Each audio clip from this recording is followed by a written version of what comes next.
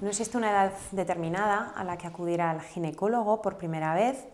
Normalmente las mujeres eh, acuden al ginecólogo por primera vez una vez iniciadas las relaciones sexuales o en casos en los que se detecta una patología o anomalía.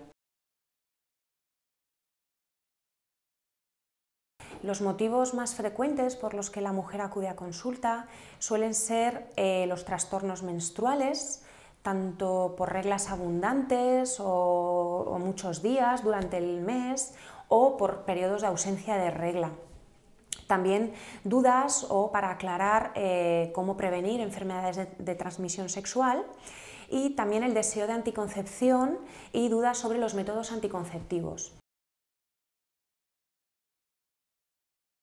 El uso del preservativo es el más extendido en mujeres de edad jóvenes incluso eh, se encuentra por encima de la media de otros países europeos. Sin embargo, el uso de la píldora anticonceptiva está más extendido en mujeres de edad más avanzada, eh, aunque en estos casos eh, la aceptación está por debajo de la media europea.